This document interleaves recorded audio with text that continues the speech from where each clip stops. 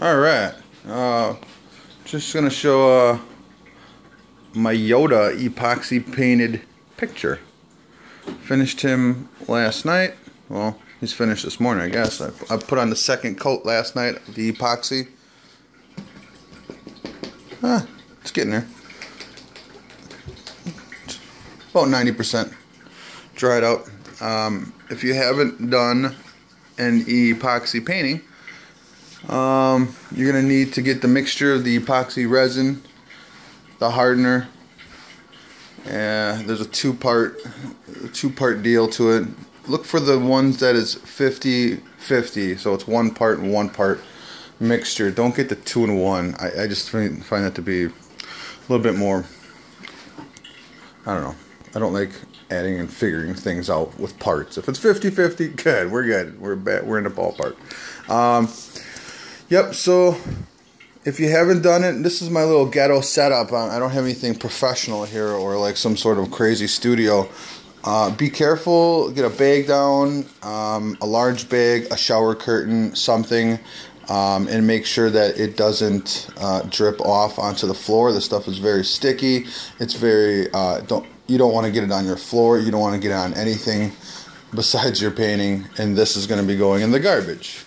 Um, I have this leveled up. Make sure that you have it on a level and that um, you can take it off easily. So it's I got some tape under there so it will come off. Make sure that this make sure your painting is never on the plastic. It this, it, this will it's stuck to that and then you're gonna have yourself a nightmare trying to get it off of here.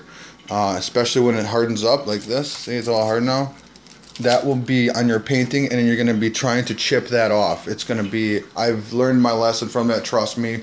Please take my advice, put it on a pillar or something like this. Um, that's about it. So uh, let's see. So I'll do the mixture, I'll put it on there, spread it on there, spread it with a little spreader. Um, you know, you can go to the dollar store. So the dollar store is your friend when it comes to doing this stuff. You find all the stuff at the dollar store. Whatever you do, do not buy uh, a measuring cup that is a glass, okay? Because usually what I do is I throw them away. Um, I'll just show you over here real quick. I, I got everything in here. When you're done, this is toxic stuff. So, you know, I, I got, I still got a little bit left in there of my, my mixture. Here's, uh, here it is. So I, I got myself a plastic bucket. I got a couple left still. That's what I do my mixing in. Um, get a stir stick. So you can get some stir sticks from uh, Walmart for free. Get yourself probably five of them so you won't be stuck next time looking for a stir stick. Um, here's my other one that I finished. So I did two coats. And when I'm done, I, I bag it up. Everything is kind of going in there, okay? Uh, we don't let the stuff hang around in the house. It's pretty toxic. You don't really want to be smelling the stuff.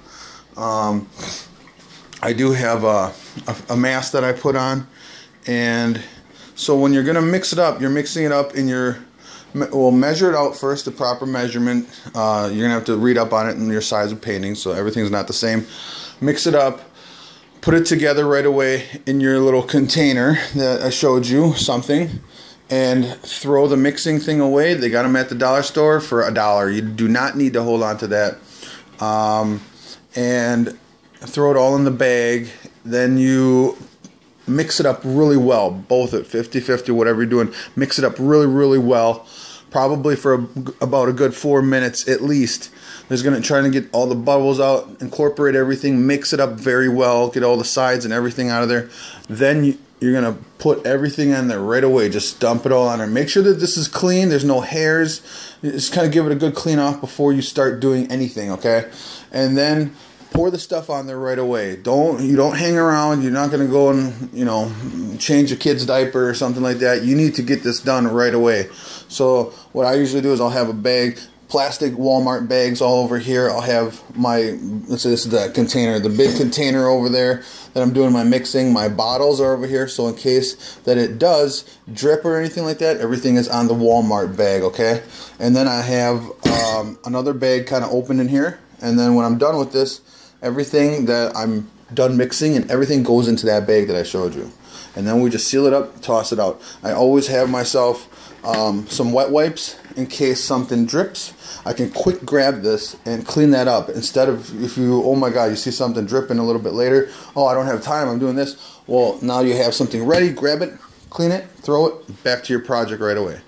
Um, that is good advice right there. And uh, I've seen some videos where they're using torch uh, like a torch thing I'll show you. Because after you get this all incorporated make this is make sure this is on a flat surface uh, it's level use a leveler um, let me show you something. Sorry about this. I should probably have this ready. This is what I seen when I first started doing it, and I was using these. Okay, these little torches things. Don't use this. This is a waste of time. It's a waste of money. When you start going like this, and you're doing it for a while, it starts cutting out, and then you're constantly trying to light it. It's it's just not getting that air or whatever. You know, I don't know. I'm not. I don't know why it's not not working. Okay, I really don't care. I just know that it's not working anymore. It'll work for probably a good couple minutes, and then it starts cutting out. Long story short, get yourself a heat gun. Okay, there's a heat gun. This Wagner gun. Uh, it's got all different types of levels on there. Wonderful. This is the best thing. Don't use this use this. I'll have it ready. I always got it ready to plug in. I'm going around, and then when you're done spreading this all on there nice and evenly, remember we're working kind of quickly here. You got about a half hour window, but it starts really settling down within a few minutes. Really, um, it's it's a it's a crazy mixture. So make sure you spread it all evenly. Okay, get your spreader or like a plastic flat thing that you can get at the dollar store. Um, and spread this, okay? Nice and easy. Take your, oh, I also forgot. Don't forget, use some plastic gloves, okay? Plastic gloves. You can get those at work or ask your buddy, or I'm sure they got them at Walmart or someplace. Get some gloves. This will all start dripping down, okay? From everything. When you're done with this, spreading this, do not touch anything on here, okay? You want to leave this. It might start looking like it's got a smudge or something or a little blotchy thing over here, but this is all going to level itself out, okay? You just leave this alone. Don't touch it, okay? Making some coffee here, sorry about the noise. So then it's going to start dripping over here, right? Use your glove after you're done spreading and go around it and make sure you kind of give it a nice, you know, a nice layer sort of to the side as well. Don't neglect the sides. We need the sides. This will start dripping down. Um, you can use a little saw thing to cut that off, like a little mini thing later on if you get big drips. But what I do is I usually just go over it once or twice, and then uh, maybe about 10 minutes later, you know, more starting to drip down. Then you just kind of go over that again and use your finger and take that off. Throw away the glove. We don't need the gloves, okay? Throw that away in the garbage. Then uh, just kind of keep an eye on it. That's fine. But going back to what I was saying, after you get everything spread and everything's nicely done, use your heat gun immediately, okay? Because you're gonna see a bunch of little mega bubbles, micro bubbles everywhere on this thing. Huge, like lots. So grab your heat gun, put it on super high, and just go over it like this. You can get close to it, that's fine. I mean, and see, you'll still have a little bit of uh, dust specks on there. Try not to have your heater blowing next to it. I learned that I should, I don't have it on then. I turn the whole, everything's off. Um, don't have a fan going, don't have nothing, don't have your cat around here. You want this to be with nobody around. I usually just go in that other room over there and I just let this thing sit all night. Don't touch it, just leave it alone. Make sure you got your heat gun going, keep going all the way around. Make sure you get in the middle, everywhere that you can't see. Get down there so that you can make sure that you see the bubbles. You'll start seeing them all disappear. It's going to be wonderful. When you're done with that, you put that away. Don't and just kind of give it another glimpse around, make sure everything's okay. Maybe if you want, uh, grab your gloves, give it a nice little thing, a nice little swipe across. Just be careful, okay? Make sure that this is level. I don't want this when you're doing this, and all of a sudden, this, you know, it was maybe too close under here, and then it will just tip over. That it would be a nightmare, okay? I would not want to do that. I'd be really upset. So make sure that everything is okay and nothing is going to fall. We're good. Um, and that's about it for that, okay? And you're just going to leave this. Um, I did this last night at about 8.30. It's about 6 o'clock in the morning. Um, now it's, it's, it's pretty dry. I'll still leave it over here for another, hmm, I don't know, five hours, six hours, and then I'll transfer it into my on my bed. I'll take off the sheets and everything, and I'll just lay it on the bed. Um, it should be good. It shouldn't be sticking, and uh, I'll let it cure over there for another day, and then pretty much it's ready to hang up. Remember, two coats. Use two coats on it. Okay. Um, the first one is going to be your just chill coat, and you might see a couple little blotches and stuff like that. If if if the mixture wasn't done right, you're gonna have to. It's, it's going to be a learning experience. It's not going to be as easy as you think it is. Sometimes you will say, "Why is this not? Why did it not cover over here?" Well, then you didn't make enough, or why do I have a huge blotch over here. Well, then you over made your mixture, okay? So just it's a little work in progress, and you're you're you know working on things, and it's not very easy because it's a time consuming waiting deal. Um, so that's why I'm saying, you know, just learn from your mistakes. I have done this so many times and it is just a pain in the butt.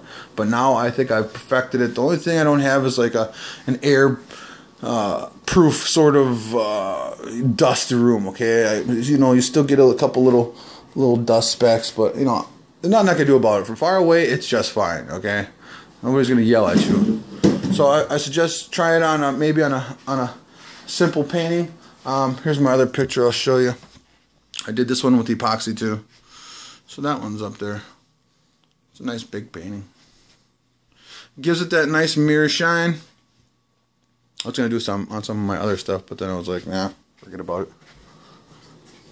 I was gonna do it on boba, but I was like, nah, boba looks good dry.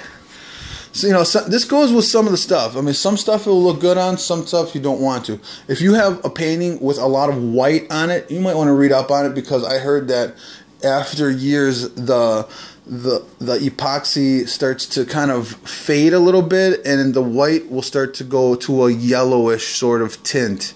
So if i were you i'd, I'd be careful if you have a, a big white painting. Um, might want to read up a little bit more on it and that's about it. Um, other than that make sure it's ventilated open up a window uh, wear a mask okay? And um, make sure I sometimes I'll, I'll, always put a hat on my head so I got a hat on so none of my hair falls on the painting. I'll usually brush off my shirt before I start. I'll brush off my arms and I don't want any hair falling on this okay? Give it a good clean swipe down. After everything is done you can deliver this to whoever you want and make sure that you put uh, you can clean it off and uh, tell them they can clean it with uh, a glass cleaner okay? Tell them to use glass cleaner. Uh, and then uh, they can kind of keep it looking real nice. Look at Yoda huh? Look at this. This is this is a pretty nice epoxy painting I gotta say. Came out really nice.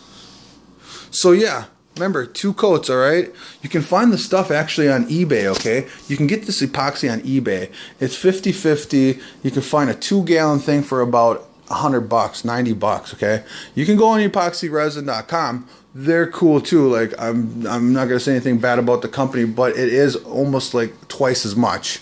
It's like $200 for a 2-gallon setup, but you can go and find this cheaper stuff. Look at I mean, this is the cheaper stuff that I bought and same stuff. I mean, you, you really don't need to overspend anything. If I were you, I would just go on eBay. There's a you'll see it. Just type under epoxy resin, and you'll see uh, construction stuff. It's the same shit. Okay, it's the same stuff. So just go under there and it, look for the one that says 50-50. Okay, 50-50 on. If you get the one gallon, that means you're getting half of it though. You're only you're not getting a one gallon and a one gallon, okay? If you're getting two gallons, you're getting one gallon and, and one gallon, okay? Did I say that right? Yeah, no. So if you got the one gallon, you're thinking, okay, it looks like there's two one gallons, but there's only half of it. It's not that big. If you get the two gallon, then it's going to be, oh, whatever. God damn it, I can't explain it. Wait, I'm just going to bring this over here, okay? I can't believe it.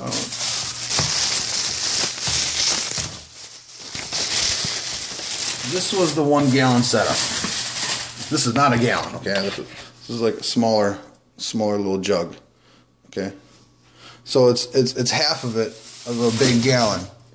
So you get half of what you it says on there. So you got a 64 ounce in here, you know, and the smaller ones. I guess I should have probably left that part out, but I don't know.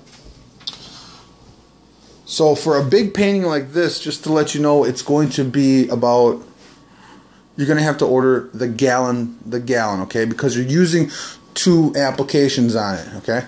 So it should be about that that area. For the 1 gallon, it's going to be about 60 bucks, okay? 1 gallon is going to be about 60 bucks. I think 2 gallons is going to be about 100 bucks. Man, I think I just you're gonna have to check it out, okay? You just do the homework, okay? You just do the homework and figure it out, okay? I'm just here just to try to explain how to do this. So, uh, yeah, go on uh, eBay. Other than that, it's good. Make sure we don't have any pets and uh, we don't want anything hopping on this thing. Um, anything else I need to tell you? Probably not. okay anyways, I hope uh, this video is helpful. I know it's a ghetto ghetto video. This is not like some crazy. Uh, I'm not some crazy great person here to try to explain stuff, but it is um, it is helpful in a way. My little my little tidbits that I did explain earlier. I hope that you take those in consideration when you're starting your epoxy. If you want, message me a question. I'll do. I'll answer to the best I can. I mean, I'm not some. I can't. I can't give you the greatest uh, the greatest information, but I'll try my best. So. That's about it.